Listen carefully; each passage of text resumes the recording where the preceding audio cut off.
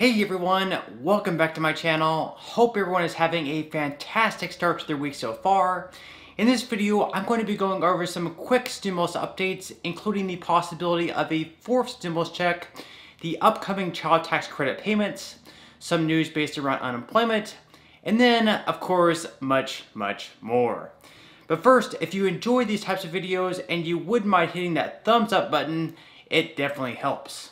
Okay, so diving right into the update for today, I wanted to quickly discuss a story out of South Carolina where two nonprofits that serve the homeless community have already helped more than 500 people experiencing homelessness receive their stimulus checks. In total, the homeless in their area have now received more than $50,000 in stimulus money, something that probably wouldn't have happened without their help. Unfortunately, a lot of the homeless community aren't even aware of the stimulus money available to them, and even if they are, have no idea on how to receive it. So let's just let that serve as a good reminder that even if you or anyone that you know are homeless, you're definitely still eligible for these payments. If you haven't filed a tax return within the last two years, you can still go to the IRS website right now, fill one out, and for the address, just list an address of a trusted friend, family member, or a shelter. Now, something very cool here is that one of the people who the Greenville Homeless Alliance helped, Angela Harper, was homeless at the time, but since receiving her stimulus money, she was able to secure permanent housing, complete rehabilitation, get a better paying job, and has been able to go on her first vacation in 15 long years. So that's some really good stuff there. In some other news, I've seen a lot of people comment on the channel asking how they can receive some type of rental assistance. Up on the screen, you will see the website for the National Low Income Housing Coalition, where you can find a lot of the rental assistance programs currently available. So on this page, if you scroll down close to the bottom, you can type in whichever city or state that you currently live in. For this example, I'm going to type in Atlanta, and as you can see, there is one program currently available.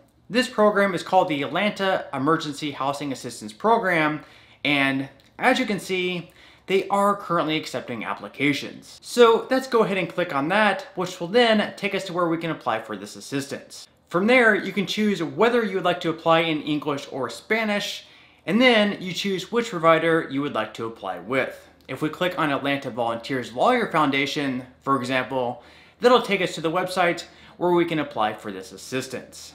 So hopefully that can be of great help to some of you currently seeking some type of rental assistance. On that same topic, President Biden did recently extend the nationwide eviction moratorium through the end of July. And while this should help many renters possibly facing eviction, some landlords are calling this the death of them. According to a nationwide census, the majority of landlords in the states are individual investors. These aren't super wealthy groups controlling the majority of properties, so by not receiving rent in the past several months, they've been faced with the toll of paying the mortgage on their own. Landlords believe, in large part, that they should be receiving at least some federal aid due to not being able to receive any rent money over the past several months. So definitely a tough situation for everyone involved. In some other stimulus news, over in Oregon, they had previously talked about refunding some of the $300 million in taxes that were generated by stimulus checks.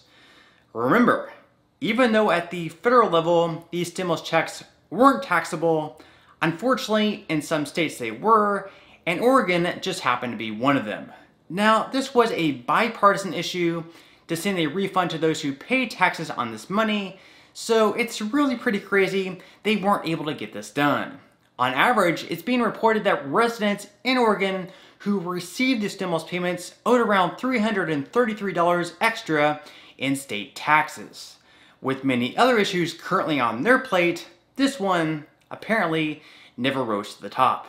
So definitely some pretty disappointing news there. And some other stimulus news, just moments after President Biden accepted the bipartisan framework for the bill to be based around infrastructure, the whole thing looked like it was going to fall apart when he said it would also need to be tied to a separate bill with only partisan-based agendas. Republicans obviously took this as the president threatening to veto the infrastructure bill if the other bill Republicans didn't like didn't also get passed.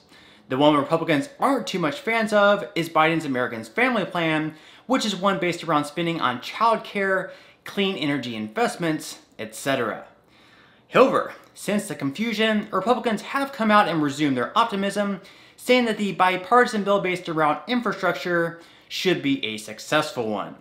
This, of course, came after the president clarified his comments, saying that he wasn't, in fact, threatening to veto the bill.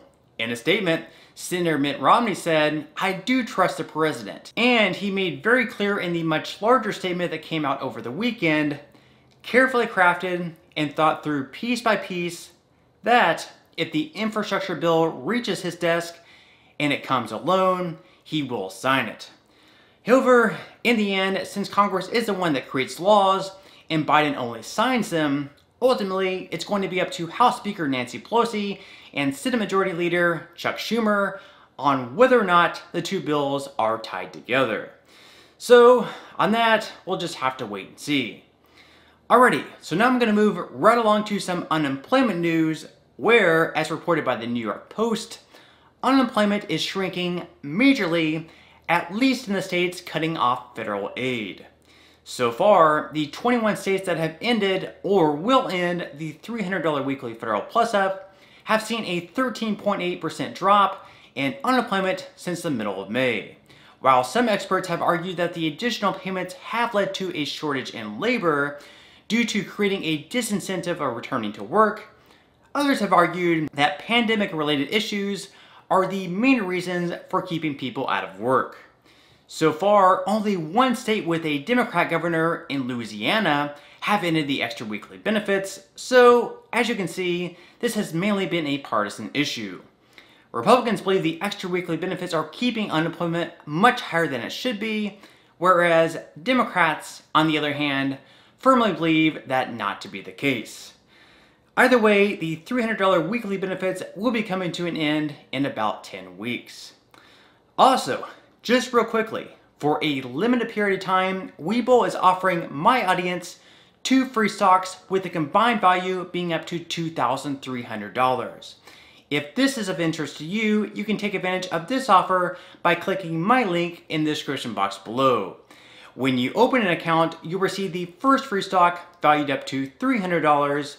Then, if you make a deposit of at least $100, at that point, Webull will send you the second free stock, this one being valued up to $2,000. Then, if you wish to keep investing, you can use the $100 that you deposited to buy even more stocks, or if you don't, you can always transfer the $100 right back into your bank account.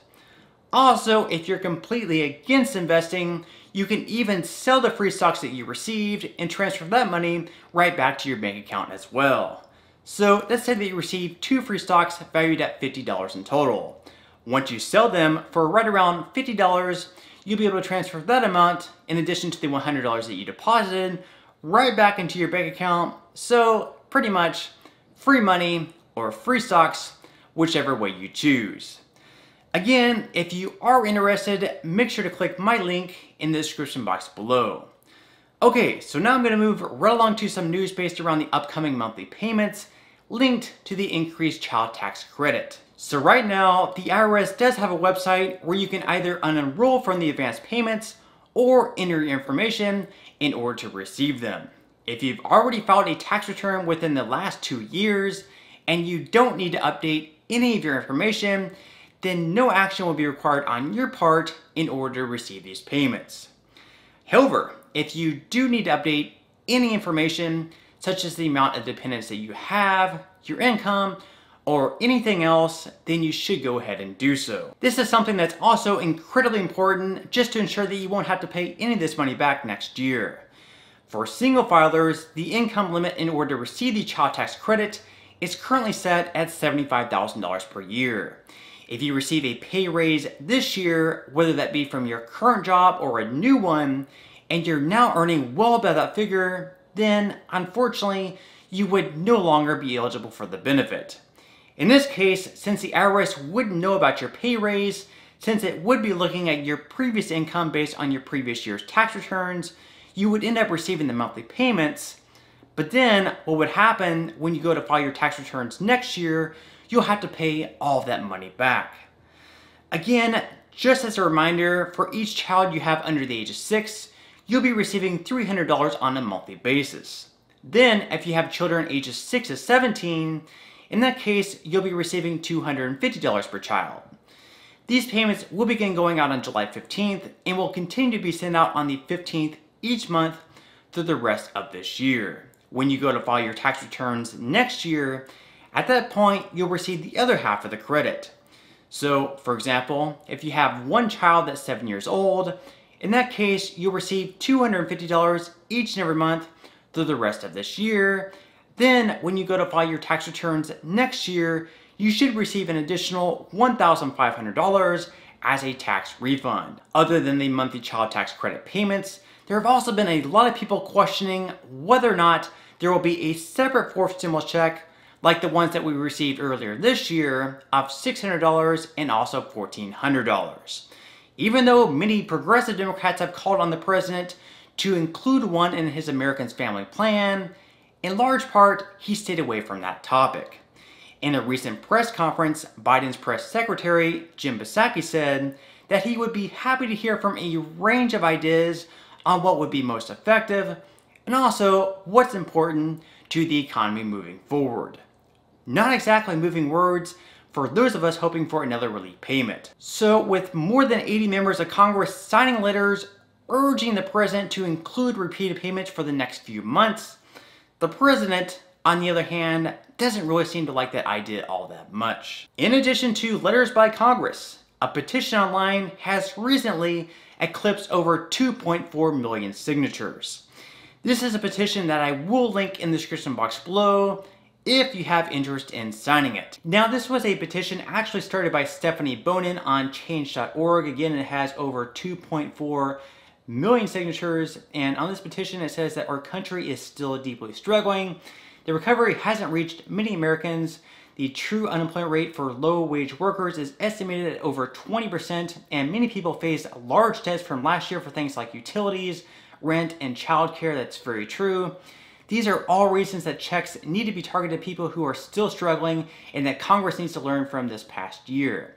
It took nine months for Congress to send a second stimulus check, also very true, and just moments to spend it. Moving forward, Congress needs to make recurring checks automatic if certain triggers are met. No more waiting around for our government to send the help that we need. Sign to join our movement to get recurring checks to people. So again, if you are interested in signing that petition, again, I will link that in the description box below. I'm not saying it's going to for sure help, but hey, you might as well if you do have just a few seconds out of your day. Now, if you want my opinion, me personally, I don't see a forced stimulus check happening. We see that President Biden doesn't have all that much interest, and Vice President Kamala Harris, even though last year when she was in the Senate and not yet the vice president, she was saying that we should have 2,000 recurring stimulus checks at this point in time as the vice president. She's not really urging President Biden or Congress to include those. So as you can see, there's not really much interest either in Congress, other than those 80 members who signed the letter to the president. There's not a whole lot of widespread interest in a forced stimulus check at this point in time. But if there are any changes on that, I will definitely make sure to keep you guys updated. So on that note, I'm gonna go ahead and wrap up this video. Thank you once again if you're still watching at this point in time. I do greatly appreciate your interest in this video. Again, if you haven't already and you wouldn't mind taking just a few seconds out of your day, I would greatly appreciate it if you could like this video, subscribe to my YouTube channel, and also ring the notification bell. By doing so, you will be the very first to know when I do upload a new video. Okay, so until next time, I'll see you guys, and I hope you have a great day today.